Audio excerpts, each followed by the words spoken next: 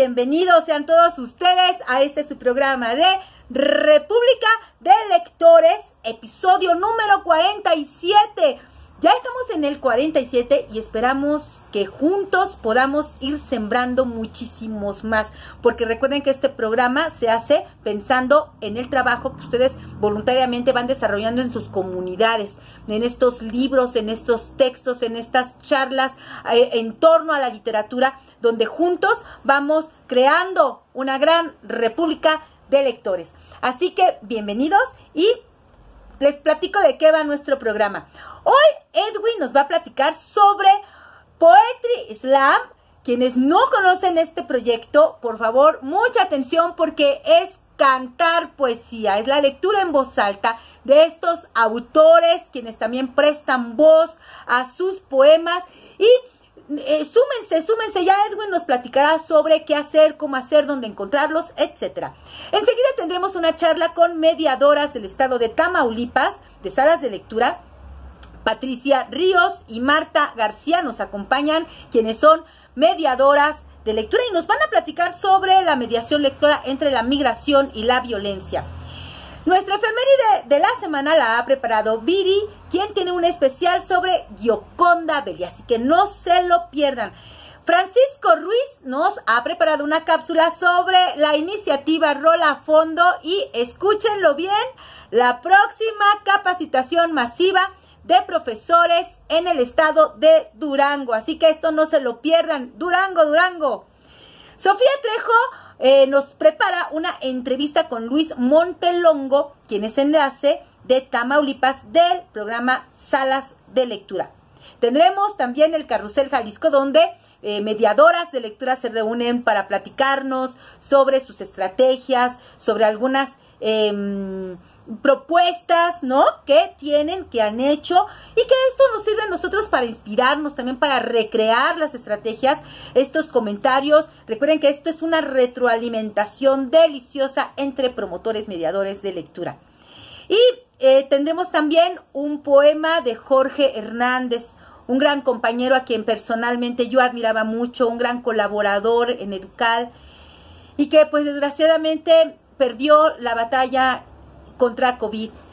De verdad que pues mucha luz y un gran abrazo, querido Jorge, donde te encuentres. Y pues bueno, para cerrar, eh, Medardo Maza se queda con nosotros. Y pues eh, para platicar también sobre estos eh, acontecimientos que, que, nos han llevado hasta, hasta este momento. Recuerden escribir en nuestro chat, sus comentarios son muy valiosos. Y por favor, cuídense, Quédense en casa, todavía estamos en tiempos de cuidarnos, de quedarnos en casa. Yo ya me traje mi cafecito para sentarme con ustedes y disfrutar de este programa. Así que nos vemos la próxima semana.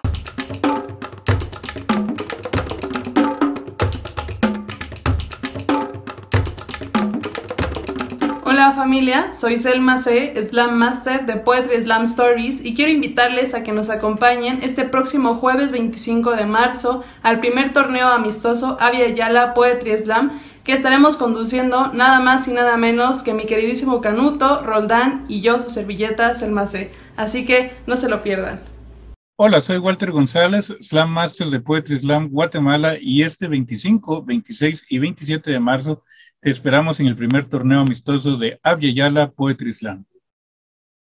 Buenos días desde Slam Argentina. Quería invitarles al torneo amistoso Absayala. Toda la comunidad Absayala está unida en distintas actividades preparándonos para lo que va a ser el torneo de las Américas. Mientras tanto, este bellísimo torneo con les campeones de las distintas ligas de América se juntan. Les esperamos.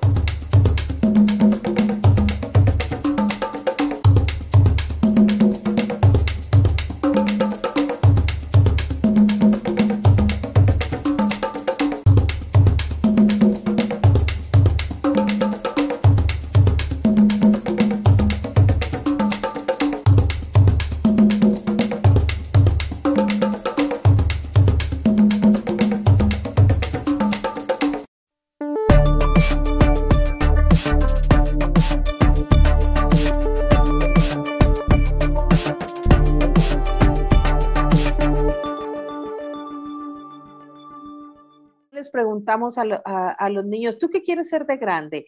Y, y ese niño respondió, yo quiero ser pozolero. Y pues dijimos, pozolero, de los que venden pozole. Ah, ¿te gusta la cocina? no, el pozolero era el que metía los cuerpos en los ácidos para desaparecerlos. O sea, nada más de imaginante el entorno que vivía ese niño de diario. si la violencia eh, lamentablemente vino a cortarnos las alas a, muchas personas. Y, te lo digo porque de manera, de manera personal, yo que salgo con la sala al área rural, eh, en dos, tres ocasiones me pararon para preguntarme a dónde va, quién es usted, qué viene a hacer. Y, los, que, los que cuestionaban eran unos muchachos, unos adolescentes que, por carencias están, están trabajando con, con esos grupos de, de, delincuencia que pues les ofrecieron facilidad de tener dinero por hacer algo que pues no pues solamente les deja eso y pone en peligro su vida. Sí, es, sí uh, hemos estado condicionados, sí esa, esa libertad que, que fue hermosa para, para, nosotros en nuestra niñez eh, ha sido coartada porque de repente se arma una balacera frente a una escuela y los niños de la escuela, aunque estén dentro de su salón, tienen que tirarse al piso para protegerse.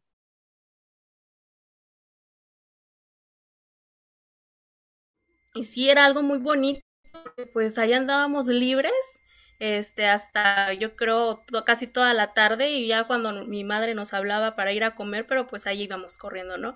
Y era algo muy, muy, muy, muy bonito. Inclusive cuando íbamos a las comunidades, este, con mis familias, pues ahí estaba, estábamos con los primos de nuestras edades, jugando, o sea, era, era algo muy bonito y, me y lo recuerdo y digo, que me da nostalgia inclusive de recordar porque digo, qué bonitos tiempos.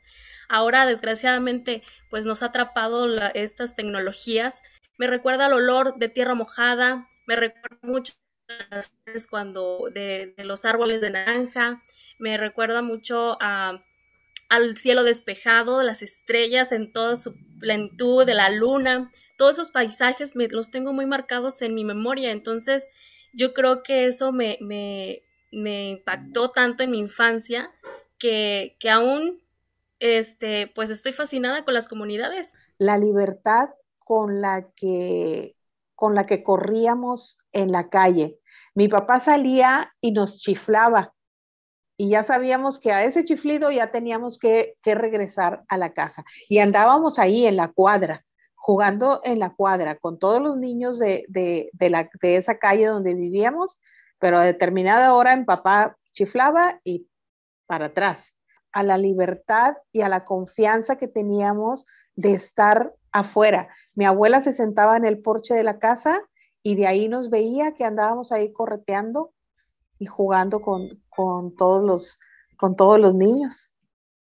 Pero sí fue, fue una, una niñez feliz. Bueno, somos de diferentes generación, pero eh, a la cosa es de que en mi generación nosotros jugábamos en la calle, dormíamos con la puerta abierta, dormíamos al pie de la puerta de la sala de la casa cuando hacía, cuando hacía mucho calor. Ahí, ahí nos acostábamos, porque como dice Patti, desde ahí veíamos el cielo y, nos gustaba ahí dormirnos y ahí, y ahí platicar. En ocasiones nos dormíamos en la azotea de la casa, arriba, en la parte, en la, pues en la azotea, Ahí nos llevábamos las colchas y ahí hacíamos nuestra, nuestra lunada. Y, como te digo, teníamos esa libertad de jugar en la calle.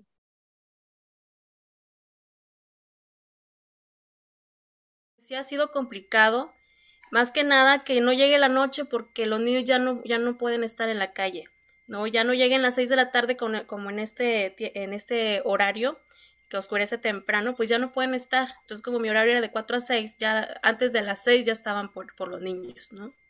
Inclusive, pues también padecían ese, el miedo de que, oye, va a pasar algo, que la plaza está sobre el bulevar eh, principal de, la comunidad y pues ahí pasan las, las camionetas muy recio y, ¿no? Cualquier cosa que, que se les ocurra hacer, pues de los niños están en riesgo.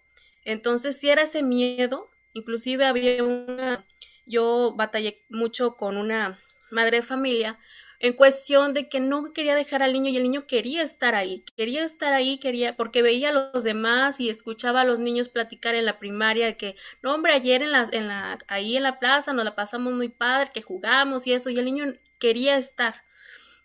Y no se lo permitían porque la mamá tenía miedo de que no, no, no puedes estar tú afuera, no puedes andar en la calle. Entonces siempre estaba eh, encerrado, siempre estaba encerrado el niño en su casa, salía de la escuela, pues iba por él la mamá y, y, pues en su casa encerrados toda la tarde. Entonces no había esa libertad de jugar con los demás niños, no nada más en la primaria, que sí en el, receso hay oportunidad. Eh, pues fuera en un campo, en, un, en una plaza pública con otros niños, este, con otras personas, con los libros en este caso, que no tenían esa oportunidad. Entonces ahí pues sí entra el trabajo del mediador, a ver cómo le hacemos, porque yo veía a ese niño muy, pues, este, que quería estar, quería estar. Entonces lo único que pude, haber, que pude hacer fue llevarle libros y estar ahí con él en su casa, en el patio de su casa, claro, con la autorización de la, de la madre, pero eh, eso es lo que, lo que me asombra de que, y, y bueno, hice la comparación de cómo los tiempos de antes que estábamos fuera de, la, de casa, nos, nos, este, los papás con más confianza de dejarnos, no había de ese temor de que en cualquier rato puede pasar una situación desagradable acerca de violencia, de estas, de esto que inseguridad que estábamos viviendo.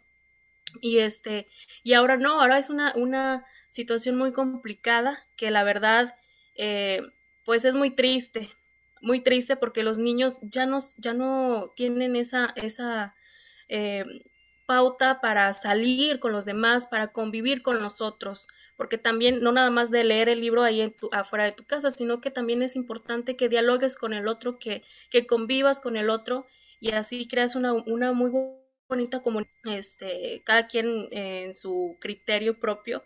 Entonces sí es complicado en ese aspecto porque se vive con el miedo.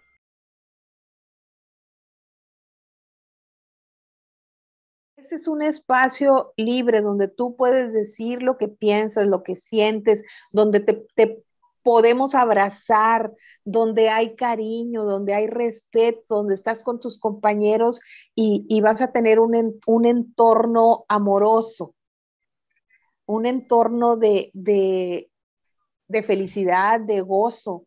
Que, que, sí, allá de aquel lado está, está fea la situación, pero nosotros procuramos que aquí estemos bien. a mí me tocó en, una, en uno de los parques meter a todos los niños a la caseta de guardia y todos sentados en el piso. Ya no podíamos decir acostados porque no cabíamos, pero estábamos en la caseta de guardias, del guardia todos amontonados. Porque, porque precisamente frente al parque empezó una persecución y pasaron tirándose balazos y pues a ellos no les interesa quién esté alrededor. A ellos les interesa marcar el poder con, su, con su arma. Y, ¿Y qué era lo que teníamos que hacer nosotros? Proteger a, esos niños, pero también a, la vez hacer de darles a esos niños que hay otra forma de vida, no nada más esa forma. La forma en cómo les enseñamos y les compartimos a los niños el amor por la lectura y que a través de, esto ellos van a obtener eh, mucho conocimiento, mucha formación para, para, su, vida, para su vida futura, eh, van a aprender y ah, tantas cosas maravillosas que pues igual me faltan palabras para poder, o más que todo palabras, tiempo para poder explayarme un poco más, pero eh, para mí es eso, el yo crear un espacio una apapachósfera, como dice eh, el maestro Lomé, eh, una apapachósfera donde esos niños sientan que ese abrazo y ese amor es por la lectura. Sí, en ese aspecto coincido contigo, Marta, porque yo tengo también unas altas expectativas. en la comunidad, pues, eh, se mantenían los muchachos, tenía uno, eh, en la sala de lectura llegaron unos muchachos, eh, alumnos míos, que pues traían una mentalidad algo pesimista, podría decirlo, negativa, que ellos no podían ser, que no, no podían hacer algo, que no eran inteligentes, que no sabían, que ellos no podían seguir estudiando después del bachillerato. Pero al, descubrir, eso sí, al descubrir algunos libros, al, platicar con, nosotros, al platicar con los demás este, usuarios de la sala de lectura, pues ellos empezaron a crear su propio discurso, su propio discurso de que no, no ese discurso que les están, que le han habido llenando en, en su cabeza, pero sí el propio discurso de descubrirse a sí mismos, de que son capaces de realizar algo. Inclusive ha sido un trabajo muy duro para ellos. Yo lo he visto, yo he trabajado con ellos, estoy con ellos este, de la mano, porque desde muy, eh, desde hace dos años, este, pues sí, traían totalmente otro, otra perspectiva y gracias a los libros, gracias a las lecturas, este, fueron cambiando su manera de pensar y, y, ellos mismos empezaron a decir, es que yo puedo hacer algo, yo sé que sí puedo hacerlo. Y ahorita ya están en su último año este, de, de, bachillerato y están ahora con esa emoción de que ellos sí pueden salirse de ahí, ellos sí pueden hacer, ser algo, alguien más. Inclusive ellos ahora son mediadores también, yo los considero mediadores porque ellos mismos hacen mediación con, con su misma comunidad a lo mejor no buscamos un reconocimiento y realmente no lo buscamos. Bueno, al menos yo no lo busco, no busco un reconocimiento, no busco que, que siempre me estén dando las gracias, claro que no, pero sí me, me, me llena de satisfacción y ese reconocimiento que, que, nos dan, pero al, al ver que ellos están eh, cambiando y haciendo suyo lo que pues por otro querían pero no, no, como que había algo que les impedía, ¿no? No sé si me explico de esta manera, pero pues gracias a esto, pues la verdad, pues yo creo que los libros les han tocado. Bueno, en el, en el 2020, a, mí lo que me encantó recibir fue la, el, el de Erich Fromm, el que, el que habla del amor. El amor. Sí, porque ese libro yo lo tengo de hace, uff, yo creo que sería la primera edición, ya bien deshojado, y cuando lo voy viendo, wow, dije yo, mira, nuevamente viene, viene, viene a mí este, este libro, y, y sí, eh, ese, ese fue el, el que más eh, me enamoró de, de, de, recibirlo, de tenerlo nueva, nuevamente en mis manos. Para mí, a lo mejor el libro que, engloba las dos cosas, es el de Rayuela, porque es una novela muy complicada, pero me encanta. Me encanta este, como que esa manera de traducirla, de deducirla, la historia, pues sí es algo complicado que, que me que me aturde, pero a la vez me encanta, o sea, no sé cómo explicarlo. Y bueno, el, otro libro que ahorita de hecho lo, estamos leyendo en conjunto gracias a, la iniciativa de nuestro, pues, eh, ¿cómo se llama? El licenciado Luis Montelongo. hicimos un círculo de lectura todos los miércoles y estamos leyendo el de, el de Haruki Murakami. Eh, y la verdad, nos, me, bueno, al menos a mí en lo personal me está gustando mucho porque bueno, es, eh, a base a la experiencia de Haruki, pues cómo empezó a escribir, a escribir este, sus libros, a escribir sus textos. Y pues bueno, yo me reflejo también en él porque digo, bueno, yo he escrito cosas, pero la verdad no sé si son grabatos o son muy Y bueno, pues ahí como nos dice Harvey Murakami, pues es lo peor que él creyó que había, escrito, este, fue el éxito total, ganó el premio Nobel y, y bueno, entonces yo creo que es una inspiración también a mí este libro porque, bueno, yo a mí me gusta escribir, pero no sé si estoy escribiendo algo bien, algo malo o no sé. Pero e, esos dos libros son eh, los que los que ahorita tengo en mente, pero realmente el acervo, ese está, a mí me fascinó.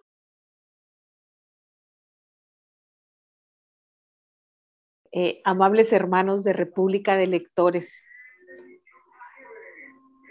es un placer estar con ustedes, poder compartir un poco nuestra forma de pensar nuestro sentimiento y nuestro amor por la labor que hacemos como promotores de lectura. Tener ese, esa oportunidad de poder compartir un espacio, poder compartir unas letras, poder mirarnos a los ojos, poder sonreírnos con los ojos y, y decirnos cuál importante es para cada uno el ser lector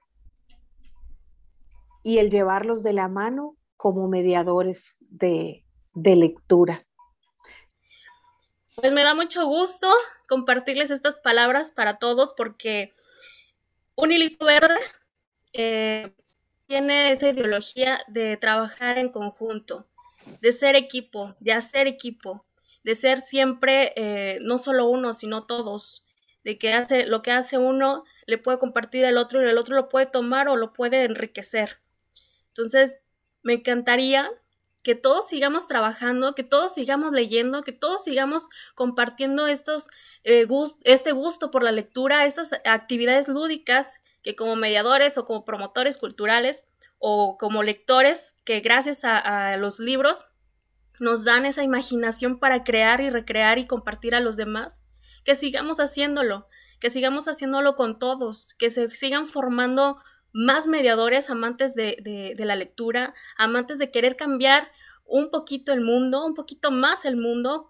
Yo creo que si, si eh, nos unimos eh, en comunidad, eh, todos podemos llegar a, hacer algo mejor por nuestro país, algo mejor por lo que estamos pasando. Pero siempre en conjunto, siempre. México es un país de nuevos lectores.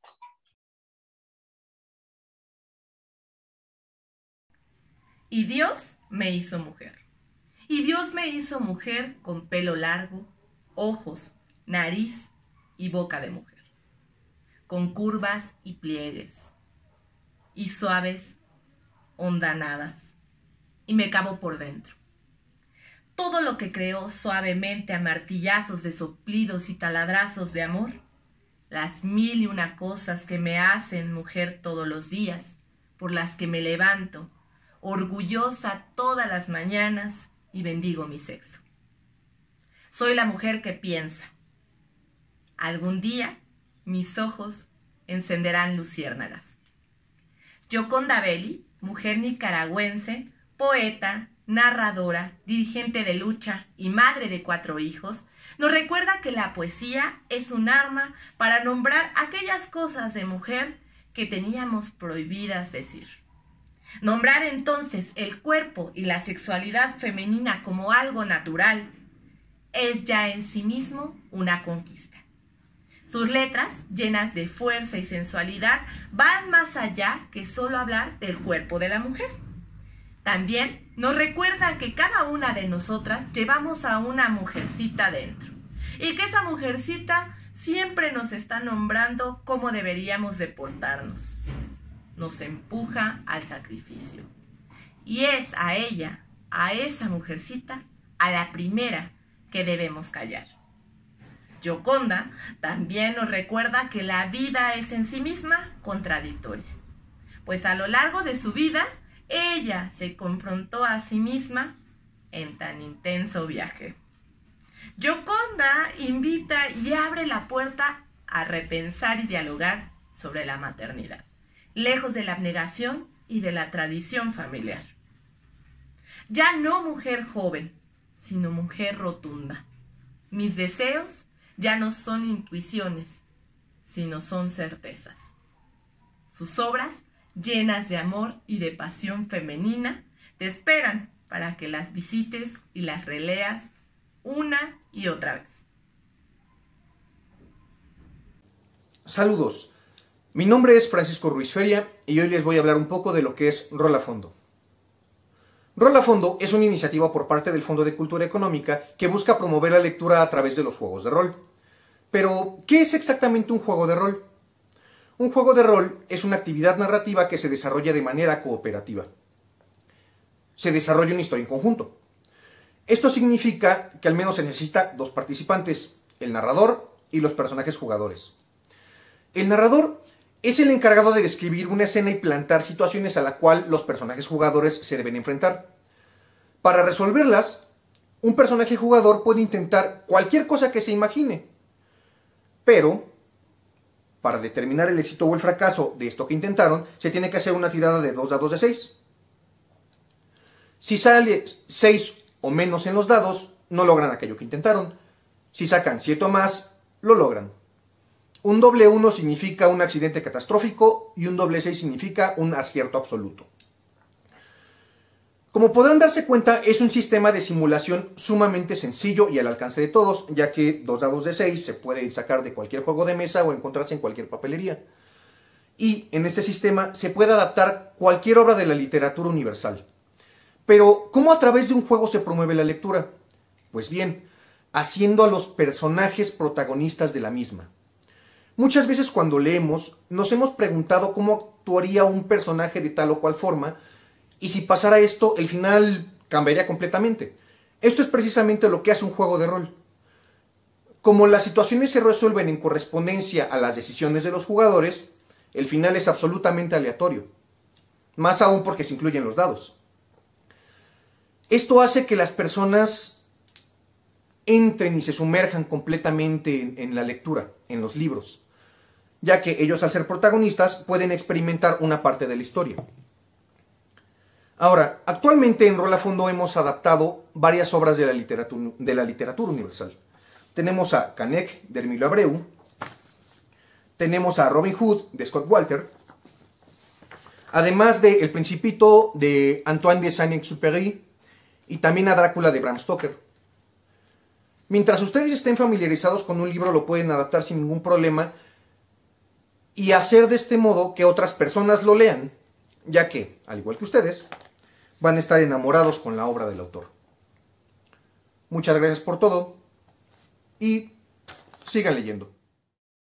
Ahorita nos acompaña Luis Montelón, nuestro enlace de fomento a la lectura en el estado de Tamaulipas.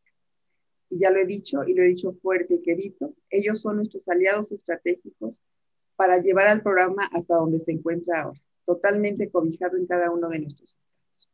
Este, Luis, querido, Luis Montelongo, bienvenido a República de Lectores. Eh, cuéntanos de ti. Hola Sofía, pues antes que todo agradecerte nuevamente esta oportunidad de compartirles eh, eh, a través de, los programas que ustedes tienen, pues qué es lo que estamos haciendo en Tamaulipas y en particular en lo que tiene que ver con el Programa Nacional de Salas de Lectura. Y bueno, pues mil gracias por esa oportunidad. Y, bueno, pues eh, hablando de, tu servidor, pues, eh, ¿qué te puedo comentar? Este, tengo, eh, ya voy a cumplir 10 años en, lo que es la parte, esta, digamos, esta parte de cultura Tamaulipas. Este, antes de esto, pues mi experiencia era totalmente distinta porque estaba más enfocada a lo que es la carrera que estudié, que es la licenciatura en finanzas y banca entonces, pues es una experiencia en el sector privado, este, en los bancos, eh, como en, eh, digamos, ocupando cuestiones de gerencia en, en Banca Pyme, en Guanajuato, ni siquiera aquí en mi tierra, pero bueno, este fue una aventura que, que tuve algunos años, este, estuve por aquellos lugares y luego, pues la, la vida me dio la oportunidad de regresar eh, a Tamaulipas y en esta parte que a mí me, me encanta, que es una pasión, que es pues la, cultura y, bueno, ahora en estos últimos cuatro años ya más enfocado a lo que tiene que ver este, la promoción y difusión eh, de la lectura en la Dirección de Publicaciones y Fomento Literario de Cultura Tamaulipas. A muy grandes rasgos esa es la experiencia y bueno, los otros años eh, previos a estos cuatro que te menciono aquí en Cultura Tamaulipas este, fueron en el Festival Internacional Tamaulipas, en la organización de, este festival importante que durante más de 20 años estuvo eh, vigente, ¿verdad? Este, y no solo el Festival Tamaulipas, sino otros festivales que también se llevaban a cabo. Entonces, bueno, este ha sido un poquito el, recorrido que he tenido en esta parte que es la, cultura. Eh, Luis, querido, así es, ¿no? Ligado eh, estos, cuatro años a la cultura, ligado al Programa Nacional Salas de Lectura con estas mediadoras y mediadores. Eh, ya oímos a Patti y a Marta. Yo lo que te comentaba hace un instante es que necesitamos el contexto. O sea, es una muestra lo que, eh, hicieron hoy Patti y Marta y una reflexión en torno a, a, un contexto, pero ¿qué más pasa en torno al fomento de la lectura en Tamaulipas? Aquí hay una muestra, pero ¿qué más?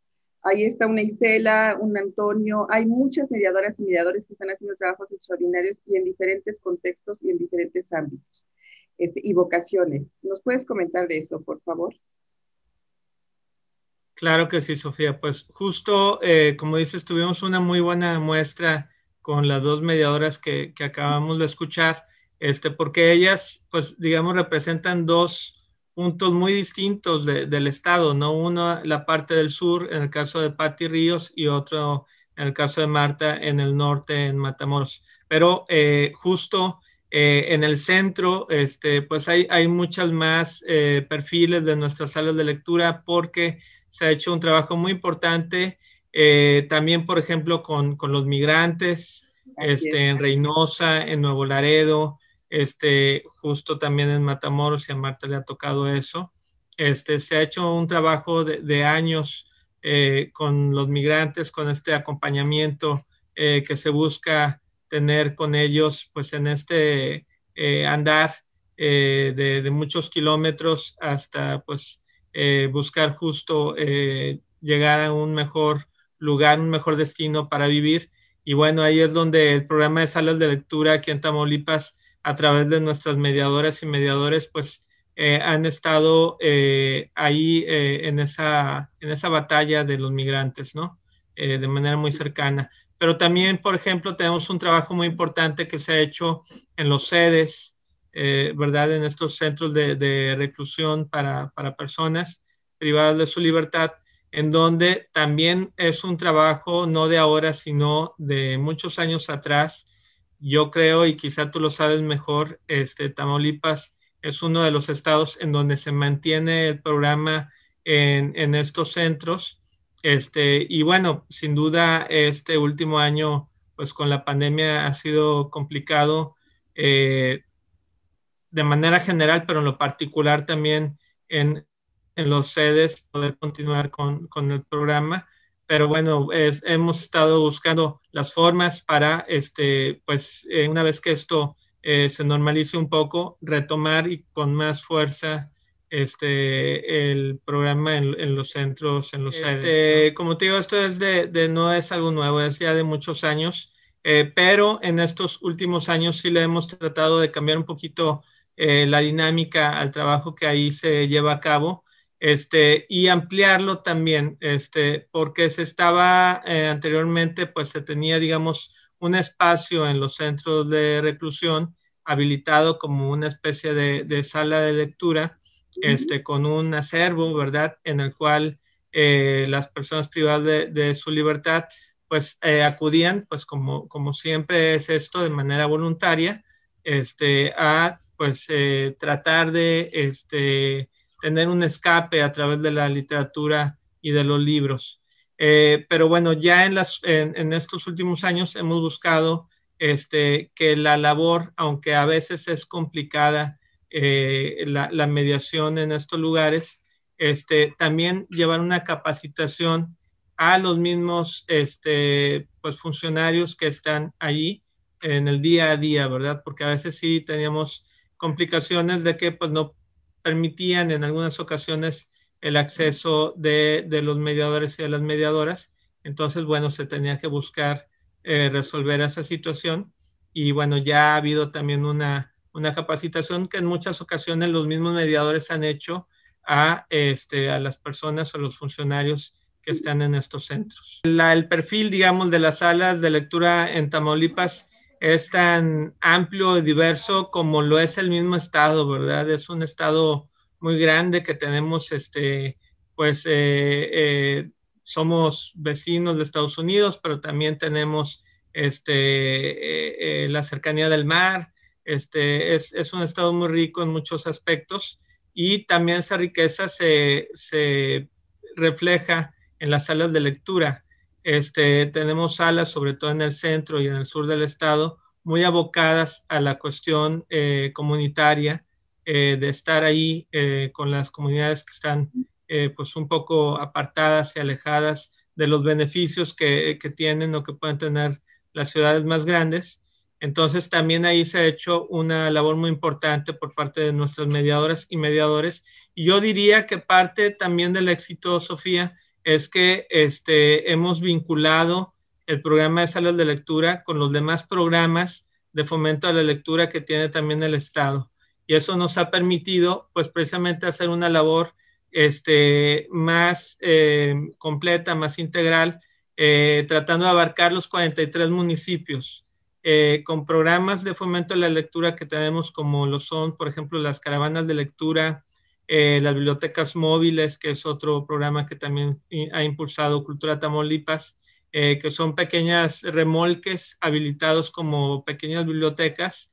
Hemos logrado llegar a las comunidades pues más apartadas, más alejadas, en donde tener una biblioteca pues sería prácticamente un sueño, ¿no?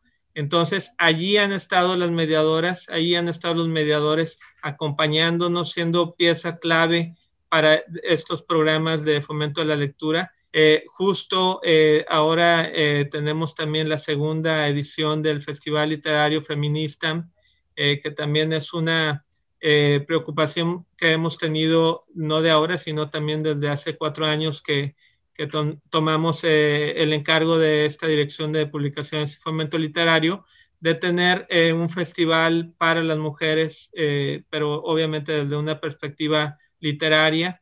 Este, hemos hecho festivales de libro itinerante de la mujer este, y ahora con este festival feminista en el mes de marzo, pues ya es la segunda edición y las protagonistas pues han sido obviamente nuestras mediadoras de lectura. Muchísimas, muchísimas gracias por acompañarnos. Te mando un fuerte abrazo.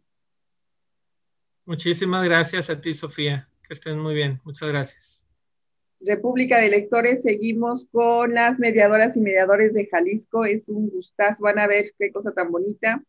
Y este, pues qué decirles, estamos aquí en República de Lectores, les mandamos particularmente a las mediadoras del Programa Nacional Salas de Lectura un abrazo desde el corazón y con toda nuestra sororidad. Gracias.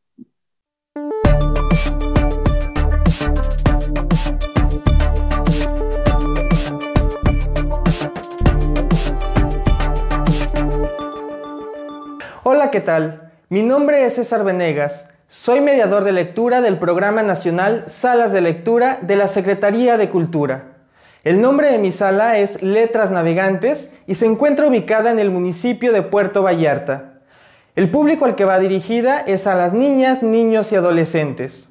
Una de las experiencias más significativas que hemos tenido es ver cómo esos niños que aparentemente dicen no gustarles la lectura, terminan amándola y terminan además involucrando a toda su familia en este hermoso hábito de la lectura. La verdad es que el programa Salas de Lectura cambia vidas y cambia a la niñez y a la juventud de nuestro país. Soy Alicia Reyes Romero, mediadora de lectura, encargada del Centro de Lectura y Formación Lectora Ocotlán. Las puertas de este centro se abren para atender a público de todas las edades. Aquí nos dedicamos a promover el gusto y aprecio por la lectura a través de diversas actividades, tales como cuentacuentos, talleres literarios, festivales y tertulias literarias, entre otros. Los niños son los que más nos favorecen con su asistencia. En estos tiempos de pandemia, hemos encontrado la manera de seguir en contacto con los lectores a través de las diversas plataformas digitales y las redes sociales. Es así como hemos continuado charlando sobre literatura. Una experiencia muy significativa fue cuando llevamos a cabo, como parte del curso de verano, un hermanamiento literario entre lectores del Centro de Lectura Ocotlán y lectores de la sala de lectura La Ranita Lectora de Teuchitlán. Una vez que los contactamos, ellos intercambiaron cartas por correspondencia utilizando el servicio postal mexicano y ahí compartieron sus experiencias sobre los libros que estaban leyendo, anécdotas sobre los momentos de la lectura y autores que se recomendaron. Fue en verdad una experiencia muy significativa. ¿Qué tal? Mi nombre es Claudio Eduardo Rodríguez Colorado. Eh, soy mediador de lectura del estado de Jalisco, de aquí del municipio de Tonalá. Y mi sala de lectura se llama Palabras Vivas y está ubicada en la delegación de Tololotlán, de aquí mismo de Tonalá. El público al que va dirigido es a jóvenes entre los 14, 17 o 18 años que están en etapa de bachillerato. Quiero compartirles que una de las cuestiones significativas al llevar esta sala de lectura a Tololotlán fue de que pues era el segundo espacio que ellos conocían donde, donde tener contacto con los libros, ya que ahí solamente existe una pequeña biblioteca que está ubicada en la delegación de Puente Grande, pegado a Tololotlán. Y, y bueno, siendo este espacio de lectura compartido con estos jóvenes, empezamos a recrear y a compartir las historias que se derivan de las hojas de los libros. Pero de ello nació precisamente el que nos compartieran los mismos jóvenes las historias de que hay en la comunidad. Ejemplo de ello, pues la historia del puente del diablo o de Calderón, también de Cristo, el Cristo de la Ascensión en Tololotlán, entre otras más que no se conocen mucho, pero que fueron platicadas y conocidas a través de sus abuelos. Y, bueno, es una experiencia de muy grata saber cómo los libros nos llevan a otras historias no muy conocidas dentro de la comunidad en donde la sala se desarrolla y se recrea. Gracias y que estén muy bien. Saludos desde Tonalá. Hola, les habla Rosal Villalpando de la sala de lectura Amos Tlamatini que está ubicada en el municipio del Salto, Jalisco. Esta sala admite a todo público, niños, adolescentes, jóvenes, no tan jóvenes, pero todos, todos están incluidos. Y les voy a contar una experiencia. Un niño de los tantos que vienen no sabe leer y escribir y ha venido durante cuatro años a la sala de lectura. Después de una larga ojeada y mirada a varios libros, voltea y me dice, quiero saber leer para poder leer muchos libros. Ahora, este niño está a punto de cumplir 14 años en junio. Esto hace la lectura.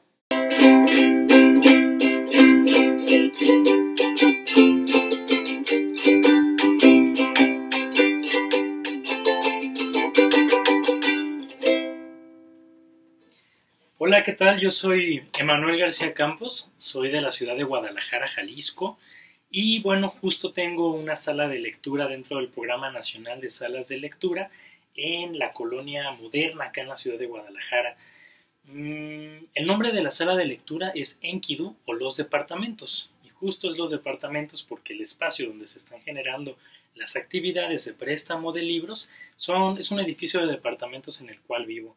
Me gustó mucho generar este espacio porque fue un acercamiento, es un acercamiento también con las personas de mi comunidad más cercana, que bueno, es el lugar en donde vivo, Guadalajara, el lugar de las tortas ahogadas. Bueno, eso es solo como un pequeño chistorete.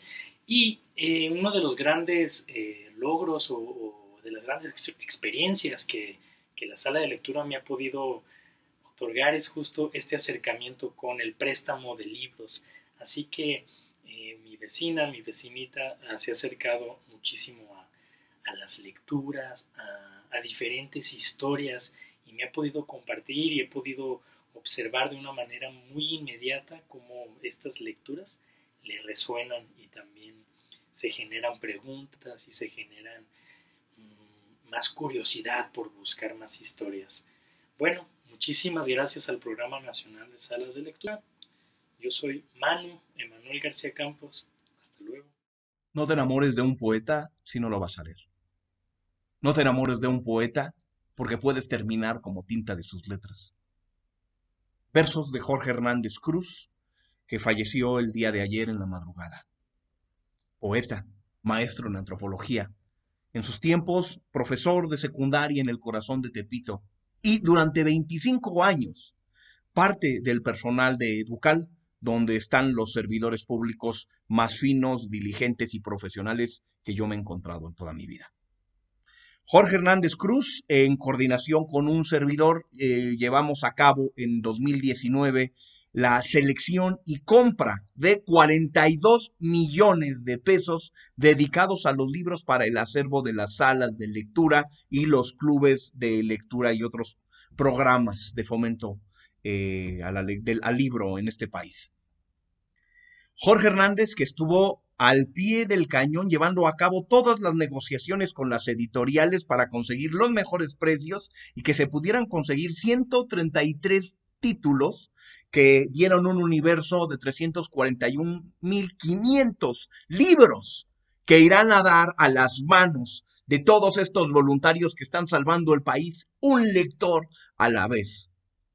Y Jorge Hernández, todavía ya enfermo hace unas semanas, se encontraba al teléfono llevando a cabo las negociaciones correspondientes para comprar el acervo de este año para esos mismos programas de fomento a la lectura.